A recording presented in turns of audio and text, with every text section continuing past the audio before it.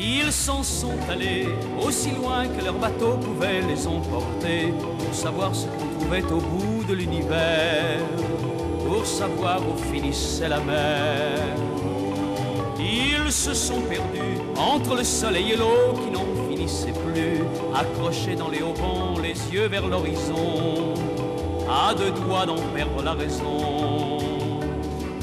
Pour pouvoir tenir, ne pas se laisser mourir, ce qu'il leur a fallu subir, le saura-t-on jamais.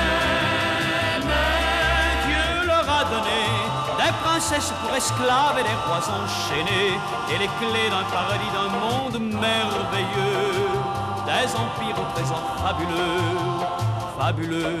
Ils étaient partis parce qu'ils devaient trouver le monde trop dégoûtés par les amis déçus par leurs amours, fatigués de vivre au jour le jour. Les uns sont restés et leurs noms sont maintenant appris, les écoliers. Ils ont dû mourir un jour en contemplant au nu les étoiles d'un ciel inconnu. Certains moins heureux sont un jour revenus chez eux pour vieillir au coin d'un grand feu, D'autres partiront et ce qu'ont fait leurs aînés, cela le.